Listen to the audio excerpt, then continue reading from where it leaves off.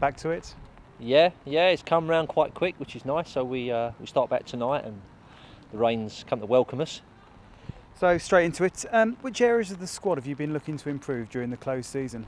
Um, well, pretty much all different areas at the moment. Um, a couple of players that obviously I knew were going to go, um, and obviously some others that I wasn't expecting to go. So uh, we've ended up strengthening the, the defence and the middle of the park, um, and yeah, pretty much all over. But pretty much down the spine of the side. Let's change. How difficult have you found it to uh, replace the players that have left and attract new players to the club?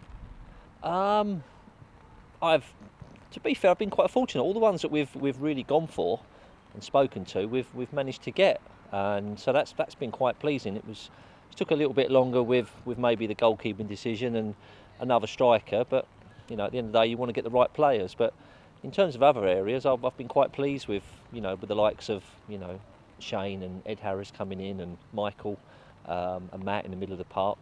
It, it sort of really beefs us up a little bit, and obviously Phil at right back. So that's been quite pleasing. With the new players that you brought in in mind, do you think we may have lacked certain types of players last season? Um, it's hard to say. I think I think it showed last year that we had we had we had players on the day.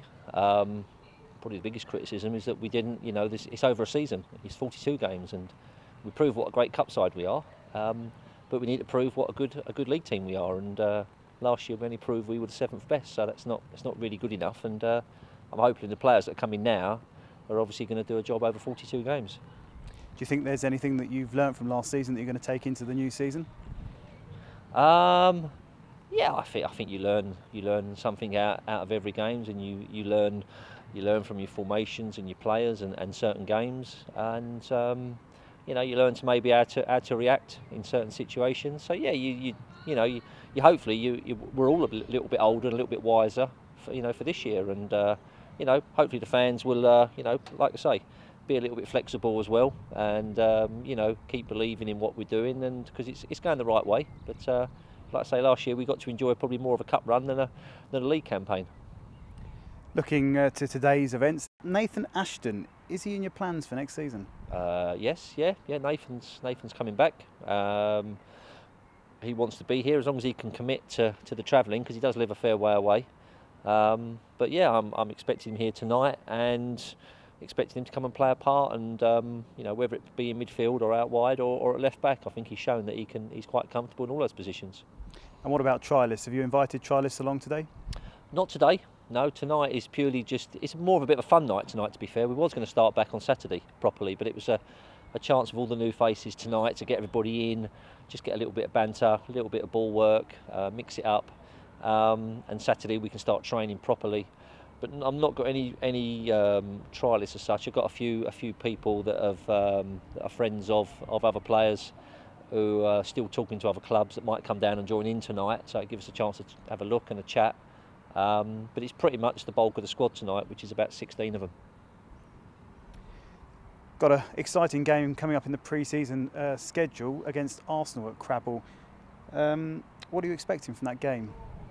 Uh, it's tough because it's probably a little bit later in the pre-season than I would have liked. It's a bit close to kick-off of the season, but it's they're the kind of games that are just there for the fans, really. You know, it's for the, it's for the players to go and play. You know, if you're going to play Arsenal under 19s, under 20s. That's pretty much their reserve team and some of their Carling Cup players. So, you know, there'll be there'll be quality players. They play football the right way, um, and it's just going to be a good a, it's going to be a good experience for, for my players to go and see what is you know the levels get raised again. Um, and I think it's just it's just one of those good ones for the fans and the club. It's good good PR to host host a team like Arsenal. Um, and hopefully give give them a good game, make it a good night, and it, and it's something then that hopefully will, will happen again in the future. But it's it's one of those strange nights. It's more of a one-off than a than really part of your pre-season. Do you think it creates possibilities of links up with uh, Arsenal in other areas? Um, possibly. I mean, they don't normally let their players come down and play at this level. They generally stick with full-time clubs, Conference or Coca-Cola two. But you know, if, if, if they come down and they see that the facilities are nice and they see that the way that we play football is, is good and, um, you know, they think that, you know, it's going to, they're going to be looked after properly and it's beneficial, then, then you never know. It'd be nice, be nice if we could, you know, uh, tempt Arsenal to let them have the use of some of their quality young players.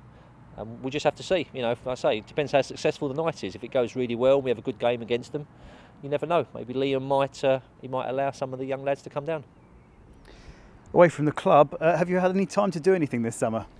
Um, not a great deal. It's been pretty much non-stop all the way through since since the season finished. You, you know, you're planning for next year anyway, and you're looking you're looking at players and talking to players and players are getting recommended to you, and then you're forever waiting for phone calls and chasing them up and having meetings. So it, it pretty much starts all the way through. I got away for a week, had a nice little break, but then you come back to loads of messages and missed calls. So it's it, is it is the way it is. You know, it's always been that way. Non-league, you know, players go away, but managers um, and chairmen are constantly active.